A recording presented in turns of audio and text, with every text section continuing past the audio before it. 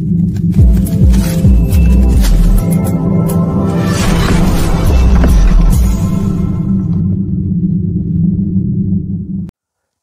dostlar hepinize merhaba. Bu yayınımızda sizlerle birlikte gene piyasalara değineceğiz. Özellikle ABD Merkez Bankası Başkanı'ndan deprem etkisi yaratacak konuşmalar geldi.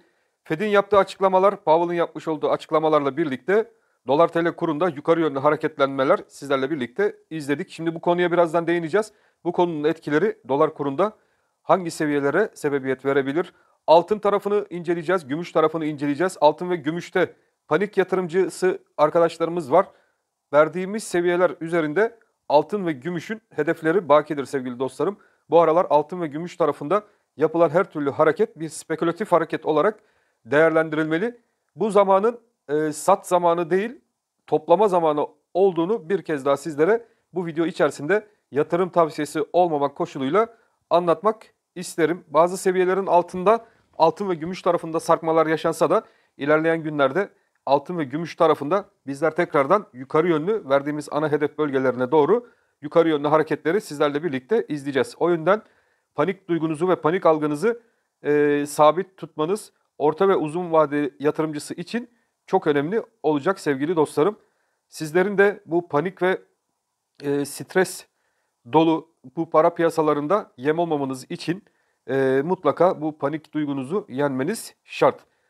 Son gelişmelere ülkedeki son haberlere, yurt dışındaki, dünya genelindeki haberlere baktığımız zaman Rusya-Ukrayna gerginliğinin hala devam ettiğini e, ve bu gerginlik neticesinde de enflasyonist baskının dünya üzerinde bu kadar fazla hissedilmesi e, ve birçok ülkeyi de hatta gelişmiş ülkeleri bile bu enflasyonist baskının e, çok çok e, yüksek seviyelerde hissedildiği bir dönemde altın ve gümüşteki aşağı yönlü hareketler sadece spekülatif hareketlerdir.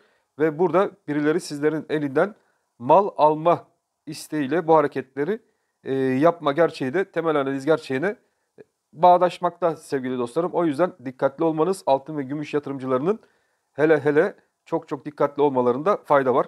Dolar, euro ve sterlin takip edenler için gene e, seviyelerimiz var. Bu seviyeleri mutlaka takipte kalsınlar. Dolar tarafında hareketler dediğimiz gibi e, takozun yukarısına, üçgenin yukarısına kırılımla birlikte arkadaşlar ilk direnç bölgesi olan 14.75 seviyesine kadar bu yükselişi sizlerle birlikte takip ettik. 14.75 önemli. 14.75 üzerinde kalıp haftalık bir kapanış gerçekleştirebilirsek sevgili dostlarım, dolar kurunu takip eden arkadaşlar için ikinci yukarıdaki direnç seviyesi ise 14.88 bölgesinden geçen direnç bölgesi olacak. Bu kanallar bizlerin takibinde olacak yükseliş kanalı şeklinde takip edilebilir. 14.75 altında sarkmalarda gene forexçiler için rakamlarımızı verelim. 14.67 bizler için bir destek konumunda. Onun altında da gene 14.58 bölgesinden geçen ikinci destek bölgesi de forexçi arkadaşlar için aşağı yönlü hareketlerde takip edilebilecek iki önemli destek. İki önemli direnç seviyemiz 14.75 ilk direnç önemli direnç ve onun üzerinde 14.88 e, direnç bölgeleri bizlerin takipte kalması gereken alanlar şeklinde takip edilmeli. Dolar yatırımcılarının gene dolar endeksini takipte kalmaları, dolar endeksinde güçlü seyrin devam etmesi, gelişmekte olan para birimlerine karşı doların gücünü hala koruması anlamı taşıyacaktır. O yüzden dolar endeksi önemli. Dolar endeksinin de son durumuna hemen sizlerle birlikte bakalım. Hala regresyon kanalımızın üst bantında hareket ettiğini görüyoruz ve bu bant üzerinde kaldıkça dolar endeksi demiştik sizlere arkadaşlar güçlü olacaktır ve bugün itibariyle bu güçlü mum hareketiyle hala yukarı yönlü seyrini 101.20 e, seviyesine kadar dolar endeksi yukarıya yönlü çevirmiş durumda. Fed'in özellikle Powell'ın ağzından çıkan bugünkü kelimeler dolar endeksinde önemli oldu.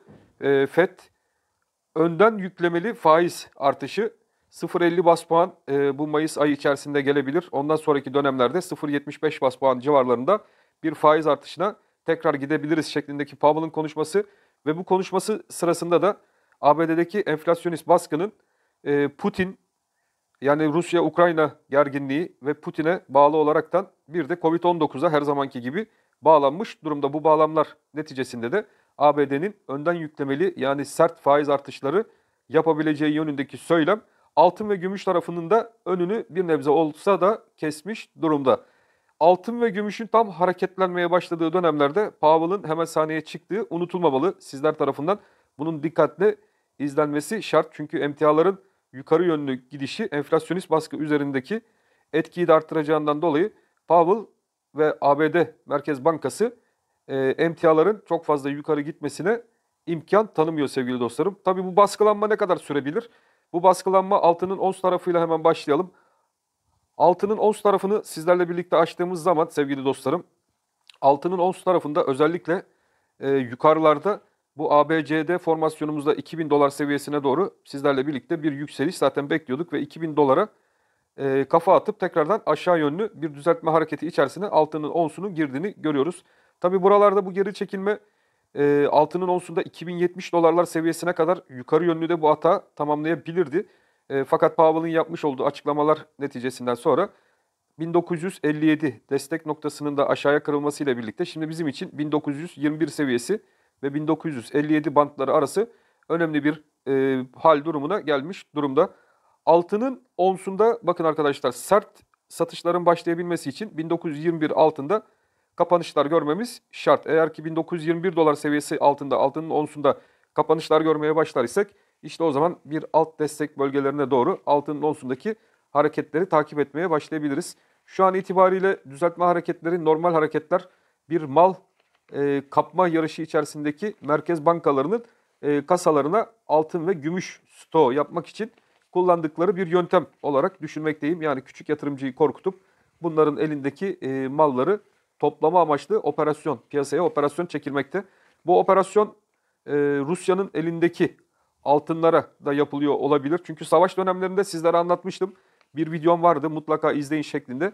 E, savaş dönemlerinde özellikle savaş içerisinde olan ülkelerin elindeki altınları diğer ülkeler e, çünkü bu savaş içerisinde altın bozma zorunda olacağı için bu ülkeler bu ülkelerin elindeki altınları alabilmek için altın ve gümüş fiyatlarında spekülatif aşağı yönlü hareketler her zaman yapılmış. Ee, burada en önemli konu şu sevgili dostlarım. Savaş, asıl savaş bittikten sonra e, bu ons altın ve ons gümüş tarafında yukarı yönlü hareketlerin sert gelişmesi. Yani bu yukarı yönlü hareketlerin sert gelişmesi altının e, ons tarafını ve gümüşün ons tarafını tekrardan yukarıya yönlü sert bir şekilde çekebilir. E, o yüzden diyoruz ki e, altının onsunda olsun, gram altında olsun, gram gümüşte olsun şu aralar al sat yapmak gerçekten e, çok profesyonel değilseniz elindekini malınızı bir anda kaptırmanız anlamı taşıyacağından dolayı al sat olaylarına çok dikkat etmek lazım. Temel analiz yönünden piyasaları değerlendirdiğimiz zaman bu piyasalardaki depremin, şokun etkilerinin hala devam ettiği, enflasyonist baskının özellikle gıda fiyatlarında olsun, enerji fiyatlarında olsun çok fazla hissedildiği bir dönemdeyiz ve önümüzde bir FED faiz kararı açıklanacak. Bu FED faiz kararından önce ise Powell'ın piyasalara e, bir müdahale, sözlü müdahalesiyle birlikte de e, altın tarafında gerilemeler görüyoruz. Fakat çok dikkatli olun, al-sat yapılacak bir dönemde değiliz. Bir anda fiyatların yukarıya yönlü gitmesiyle birlikte e, tekrardan sattığınız malları geriye alamama riskiniz de çok fazla. Bizler artık ons tarafında 1921-1957 dolar bant aralığını sizlerle birlikte takip edeceğiz. 2000 dolar denendi onsta. E, burasının tekrar deneneceğini düşünüyorum. E, bakalım bu denenme esnasında bu 2000'i kırıp 2070 dolarlar seviyesindeki hedefine doğru ons altında tekrardan yukarı yönlü hareketleri görebileceğiz mi? Bunu da sizlerle birlikte takipte kalacağız. Ons gümüş tarafına hemen baktığımız zaman ons gümüşe de bakalım. Ardından da gram altını yorumlayalım. Euro, e, Türk lirası, sterlin, Türk lirası onun ardından da Bitcoin'e bakıp e, gram altın ve gram gümüş yorumlarımızı da burada sizlerle birlikte yapacağız. Evet gümüşle başlayalım. Gümüşün ons tarafı arkadaşlar e, bu kırdığı takozun alt seviyesini test etmek istiyor tekrardan. Buradaki seviyemiz de 24 dolar seviyesinden geçmekte. Yani burada 23.80 seviyesine kadar gümüşün ons tarafında aşağı yönlü hareketler görmemiz e, gayet normal ve bugün burada 24 dolar seviyesine kadar bir iğne olayı gerçekleşti ve buradan tekrardan haftanın son günü olan bugün itibariyle yukarı yönlü bir toparlanma içerisine gümüşün onsunun da girdiğini görüyoruz. Bu aralık tehlikeli bir aralık ve tekrardan bu aralığın yukarı yönlü atma ihtimali çok fazla. Çünkü bu aralıktan gümüşün onsunun toplandığını düşünmekteyim ve aynı hareketi burada da sağ tarafta da çekecekler ve gümüşün onsu 25 11.50 üzerine attığı zaman buradaki hareket 28 dolarlar civarına doğru gümüşteki hareketi yukarı yönlü yönlendirecektir. E, benim teknik açıdan baktığım ve şu anki hareketlerin bir keriz silkelemesi diye tabir edilen piyasadaki harekete benzediğini e, söylemek çok da zor değil sevgili dostlarım. Evet gram gümüş. Gram gümüşe de baktığımız zaman gram gümüşte gene 11.50 civarlarında bir fiyatlanma sizlerle birlikte takip ediyoruz. 11.80 üzerinde kalı, kalamadık. 11.80 üzerinde kalsaydık e, bizleri 13.20 hedefimize götürecek bir seviyeydi. 11.50 baktığımız zaman 11.50 bizler için bir e, destek bölgesi mi diye düşündüğümüz zaman evet 11.50 bir destek bölgesi. Bu 11.50 destek bölgesini takip edeceğiz. 11.50 üzerinde artık bizler için 11.75 bir kanal aralığı ve direnç bölgesi haline gelmiş durumda. Hala 11.80 bakın şuradaki 11.80 çok önemli. Tekrardan yukarı yönlü hareketlerin 13.20 hedefine girebilmesi için ise gümüşün gramında 11.80'in potaya girmesi şart ve ilerleyen zamanlarda e, burada yeteri kadar sol taraftaki hareketi sağ tarafta da yaşamadık bitirdiğimiz zaman buradaki hareket 13.20 seviyesine doğru gümüşün gramında tekrardan yukarı yönlü hareket edecektir. O yüzden altın ve gümüş tarafındaki arkadaşlar çok profesyonel değilseniz e, bu destek ve direnç aralıklarında pek al sat yapmanız uygun değil. Çünkü burada hareketler birden koparılacaktır. Benim düşüncem bu yönde hızlı bir şekilde yukarı yönlü ivmelenme yaşanacağından dolayı sattığınız ürünü tekrardan alamayabilirsiniz. Panik duygunuzu kontrol altında tutun. Bir anlık e, panik ve silkelenme olayına gelmeyin diyorum. Gram altına hemen geçelim. Gram altında önemli seviyelerimiz var. Bu seviyelerimiz de e, bizler için takozun 900 TL seviyesine kadar olan kısmı bizim için önemli dedik. E, bu 900 TL'ye kadar olabilecek sarkmalar bir alım fırsatı niteliğinde yatırım tavsiyesi olmamak koşuluyla değerlendirilebilecek alanlar e, olarak takip edilebilir. 900 ve şuradaki arkadaşlar 937 seviyesindeki direnç önemli bir hal durumuna gelmiş durumda ve band aralıkları e, bu iki seviye arasında gitgeller yapıyor. Bu dolar bazlı olarak e, sevgili dostlarım gram altın tarafı tekrardan bir yukarı yönlü ivmelenme görebilir. O yüzden gram altın ve gram gümüş tarafında olan sevgili dostlarım daha az panik yapmalı. Ons bazındaki altın tarafında olanlar için. Çünkü buradaki harekette hem dolardan hem de e, ons tarafından güç aldığı için bu hareketlenme e, Fed'in fiyatlanması, e, yapacağı faiz arttırımının fiyatlanması ons tarafında aşağı yönlü bir çekilme yarattığı için Fed'in açıklamasının ardından ons tarafında da bir güçlenme yaşanabilir. O yüzden 4 Mayıs'a dikkat.